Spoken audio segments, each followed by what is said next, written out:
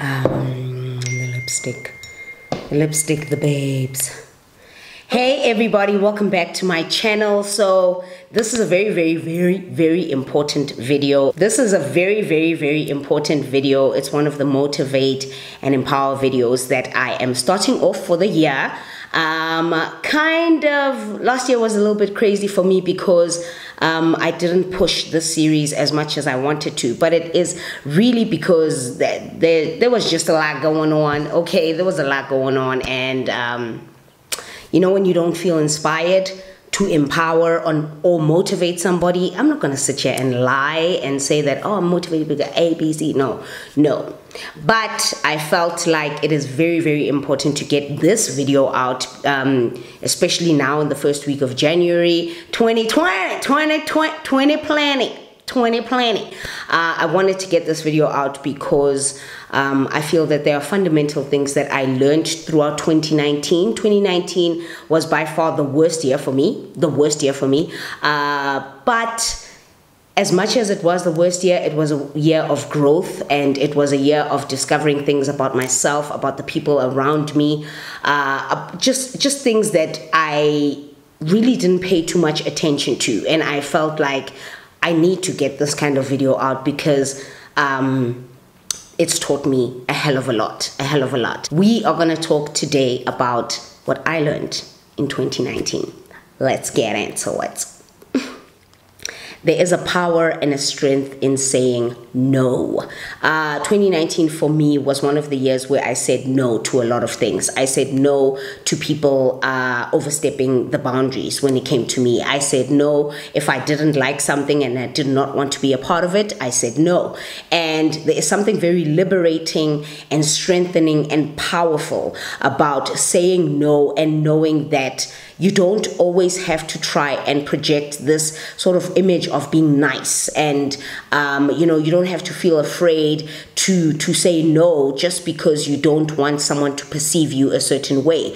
So no for me in 2019 was powerful. People need to learn how to not overstep boundaries. You need to set a wall of boundaries so that people know that how they could no. So that people know how they should approach you uh, when uh, at which you know degree in which they can approach you with certain things. And um, yeah so no for me was very very powerful.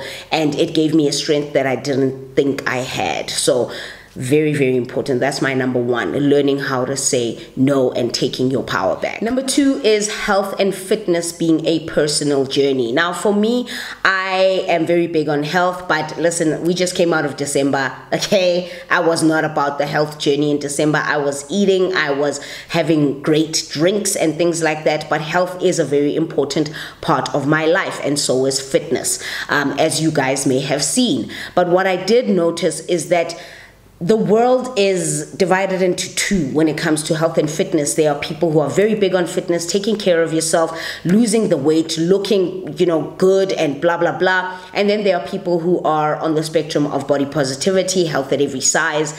And man, I cannot tell you how many times I read those kinds of articles, uh, readings, and things like that, and watched those kind of videos on. Um, YouTube. But the point of it all, what I realized is that even though I snap and I put down, you know, I show you guys what I'm eating and I show you guys uh, what I'm doing at the gym, health and fitness is a very personal journey to each person who chooses to partake in it. So I also learned that it doesn't matter what someone is doing or not doing with regards to health and fitness. It's not your story to tell them what they should do when it comes to their health and their fitness.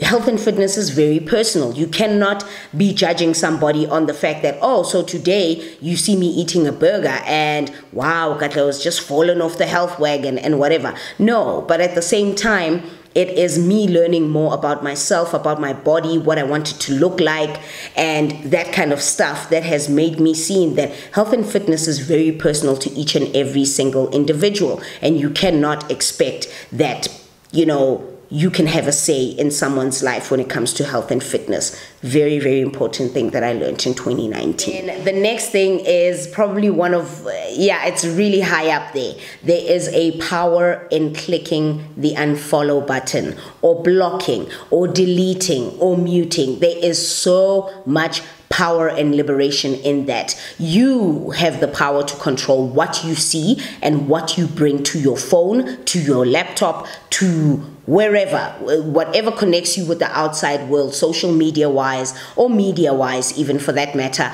you have the power to control what you see. If it is negative and it affects you negatively, if you are following uh, fitness accounts on Instagram and these people are really in there and it makes you feel some type of way about yourself, don't follow them. Don't follow them. If you are following somebody you know that doesn't like you or has said some things about you, why are you following them?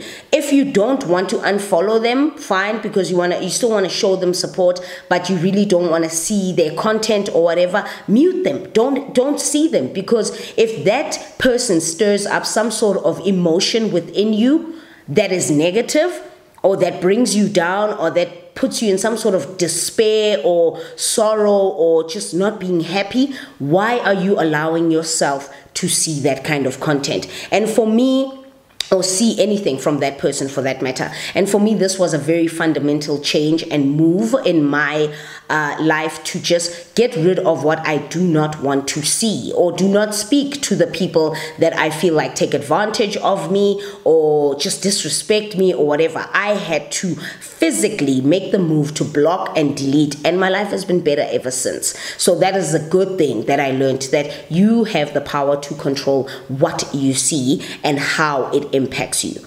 Very important. The next thing is that confidence is a powerful self boost. Honey, I'm gonna give you an example, a simple example. For me, this year was the first year where I started wearing swimsuits like nice ones and bikinis and this and that and the other. I was so confident that that confidence, that, that, just me telling myself that I'm gonna wear it. I don't care who says what, I'm gonna wear it. But just that confidence that I radiated or received from just feeling so beautiful and sexy and what have you skyrocketed my self-esteem. I became more confident in the workplace. I spoke up. I spoke louder. As an introvert there's certain places in my life where i feel like my voice is smaller as opposed to uh, you know certain places in my life where i feel like i have a loud mouth and with friends and family and things like that.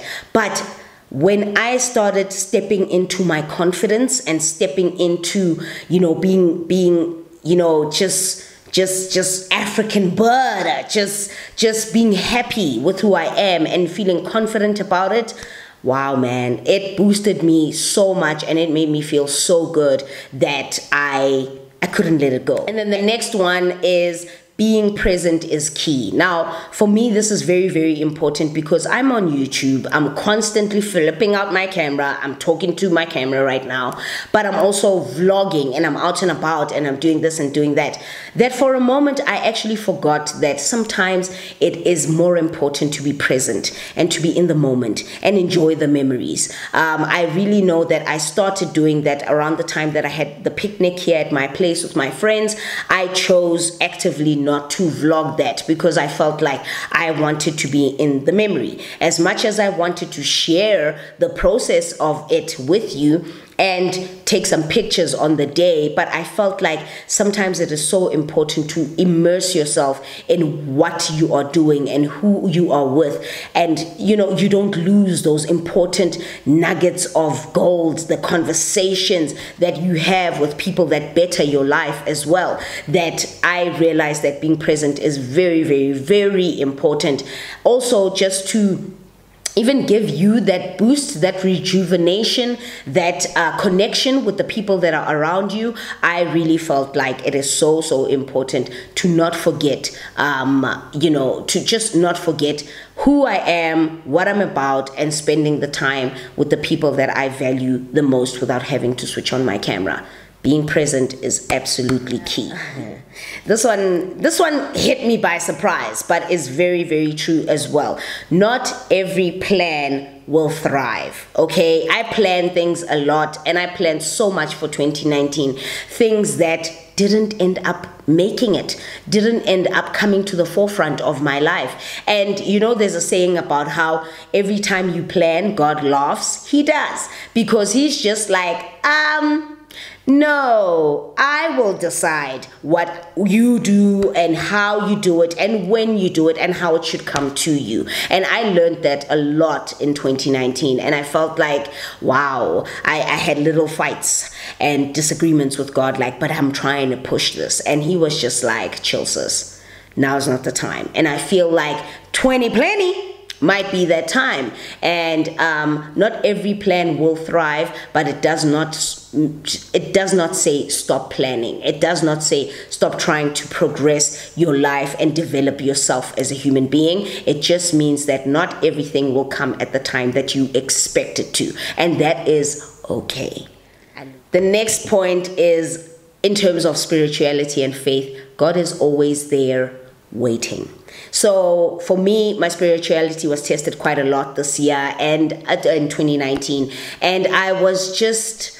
I was not okay, man. Faith wise, I wasn't going to church as often as I normally do. I was just upset with God a lot of the time. We were, we were going through it, me and him. And he was just like, I'm here. You gonna come back I'm waiting. And I did. I did. I started reading my motivational books. I started, you know, slowly, but towards the end of 2019. And I realized how how fulfilled it made me feel. I realized how present it made me feel with my relationship with God. But the most important thing was that He was always there. He was always waiting. He was always just saying, You need your time. It's okay but you're gonna come back. And I did. I did. And it is powerful to know that no matter how much you may be going through something, when your religion and your faith um, is a big part of your life. It may not be at that time, but when it is a big part of your life, you will constantly go back to it. You will constantly remember uh, why you're a child of God and why He's got so much value and importance in your life. And that is what 2019, the latter part of 2019, reminded me of. Very, very important. The next thing I learned, whoo, this I learned a lot is that authenticity is always more attractive than success or perfection. I met so many people in 2019 and some were great and I I got more attached to them because of their authenticity. I was drawn to them because of their relatability. And there were certain people that I just could not draw myself to you because I felt like you were not relatable to me. This applies to everything to my social media, to YouTube, to um, life and the people that I met around me during this time, it applied literally to everything. And I realized that I am more drawn to people who are who, who, who have humanized themselves towards me, who have shown me that you don't always have to be perfect, who have shown me that not it's not gonna be, you know, perfect and perfection all the time, but something about them drew me to them because I felt like it's not even about being successful. It's not even about being um, not successful or whatever, but it's about the relationships that you cultivate with people and the honesty and the truth and uh, the authenticity that you bring to the relationships that you share with people. And I loved it. I lived for it so much that I realized that, wow. And it's one of the things that I get a lot on my channel is that you're relatable, you're authentic, and whatever. And that is by far 110,000% more of something that I would wish to project to people who watch me as opposed to being successful or being unattainable or whatever or being unapproachable. No. I want to, people to realize that I am what I am, but at the same time, I'm authentic and real as well. So I learned that quite a lot in 2019. And the last thing is definitely something that I got from Michelle Obama from reading her book and also uh, buying her Becoming Journal. This is the journal that I'm going to be using in 2019. But one of the first pages, or first couple of pages, um, the, the one thing that I read, and I started using it like, okay, towards the end of 2019. Uh, one of the things that I read was your story matters. So, whatever, whatever your story is, whether your story is uh, business, life, religion, politics, whatever it is, what you have to bring to the world matters. And for me, that was a very important part of my life in 2019 is that I want to create something that I want to be remembered for. I want to serve a purpose to others, to people, to things, to whatever, but anything that I want to be remembered for. What is my purpose? And when I read that line, it just reminded me that, wow, yes, my story matters, so don't give up whatever you have to bring to the situation or to the equation, don't stop trying. And what you have to say at the table where everybody's dining and has everything to say and everything to show and everything to do and blah, blah, blah, your story matters too. You are important too. And it's just a matter of time before the whole world gets to see that. And I loved it. I loved it. And I felt like it's something that you need to also carry into this year. Your story matters too. Okay, so that's pretty much it for me. I hope you guys enjoyed this video. This is the first video of Motivate and Empower, and we're gonna get into it. We're gonna make Motivate and Empower a um, part of this personal development series. And yeah, I hope you guys are great. I hope you guys are ready for 2020. Thank you guys for being around in 2019 and supporting my channel. It has meant so, so much to me. And let's do it. Let's get it. It's 2020. I'll see you in the next one.